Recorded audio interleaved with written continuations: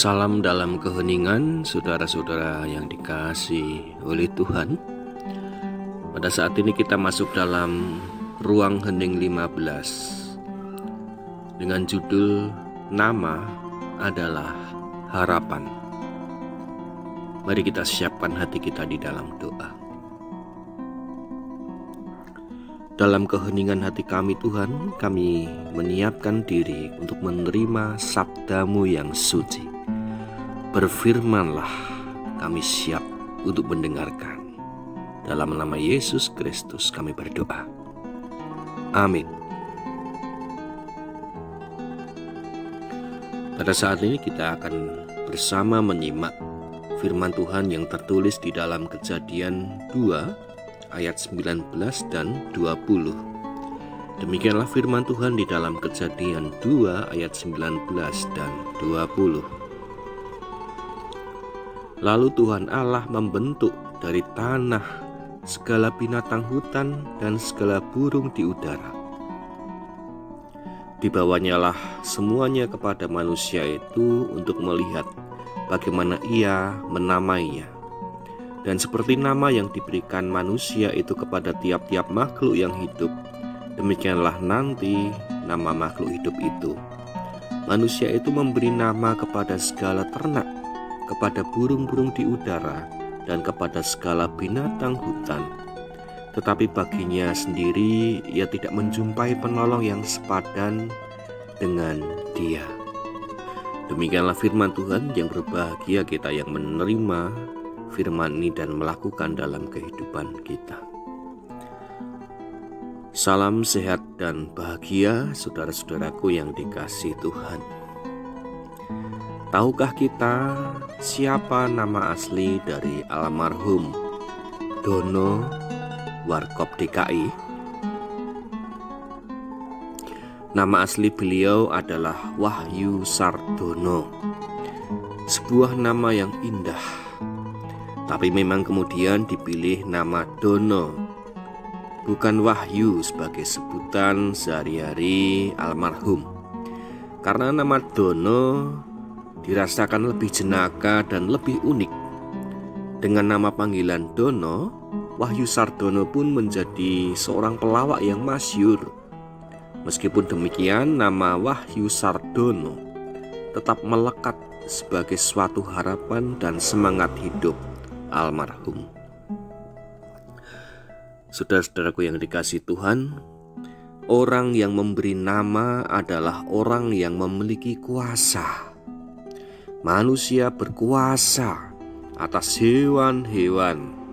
Oleh karenanya manusia memiliki hak memberikan nama kepada hewan-hewan yang ada pada waktu itu.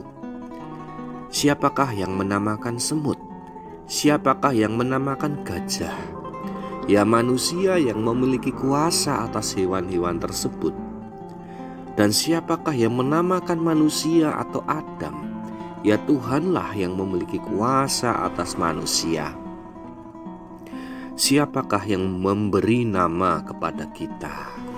Ya orang yang berkuasa atas kitalah yang memberi nama kepada kita. Bisa orang tua kita, bisa simbah kita, bisa pak D kita, bisa bude kita, bisa tetangga kita dan lain sebagainya. Di dalam sebuah nama pasti ada sebuah pengharapan. Orang yang diberikan nama misalnya Selamat Raharjo. Harapan orang tua adalah anaknya senantiasa berada dalam keselamatan dan hidupnya ada di dalam kesejahteraan. Ada juga nama yang diambil dari nama artis ataupun nama atlet ataupun nama tokoh-tokoh Alkitab agar anak-anak yang diharapkan bisa berprestasi, bisa seperti tokoh yang diharapkan, seperti nama Ronaldo ataupun Michael ataupun Maria dan lain sebagainya. Lalu bagaimanakah kalau kita tidak tahu arti dari nama kita? Kita bisa memaknai sendiri nama kita sebagai sesuatu yang indah.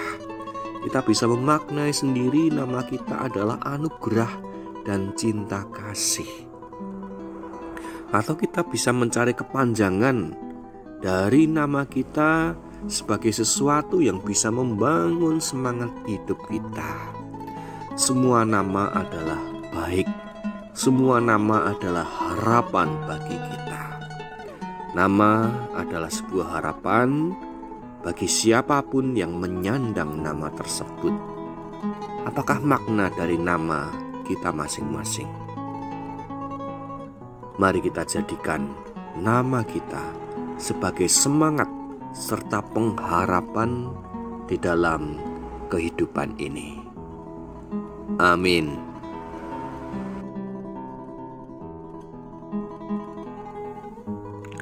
Mari kita bersatu dalam doa.